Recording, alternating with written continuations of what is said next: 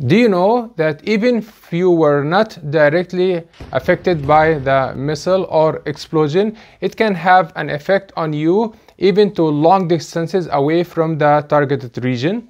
Many people think that the effect or damage from the blast and explosions can be only by the center of the explosion or by the shrapnels. However, there is a damaging effect of the vibration and pulses that are caused by the explosion that last and go far away from the center of explosion and those can have long-term damages and long-term effects on the human body. Pay attention to this video and the advice that I will give regarding the blast injury that might save somebody's life.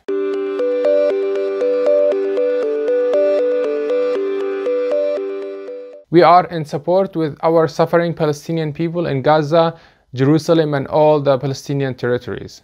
When the explosion happens, it leads to sudden explosion and vacuum of the air, which leads to pulses and vibrations that spreads throughout the area around the explosion and travels very fast, faster than the sound itself.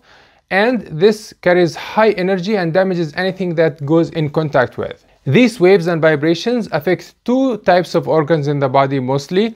The first one is the organ that has air inside them, like the middle ear, the lung, the stomach and the intestine and the second thing will be the organs that have fluid and stay in a contained environment like the brain in the skull and the spine in the back and those waves can cause internal bleeding or destruction of those internal organs. The damage from these blast waves can be much more in a closed and contained environment. Why is that?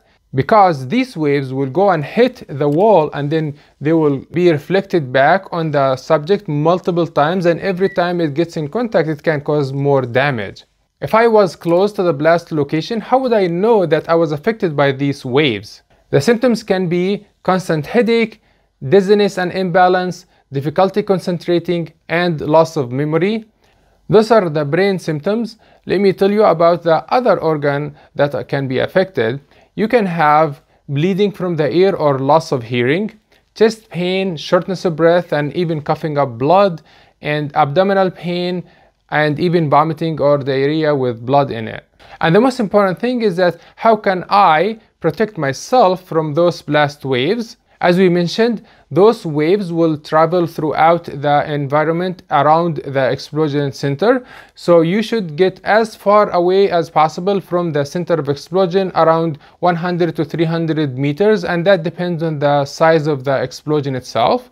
And I advise you to lay down on the ground because those waves will travel on the atmosphere and air on the surface of the ground. So the lower you get, the better chances of you not being affected or the less chances of damage it can happen. Thank you so much for watching and stay safe.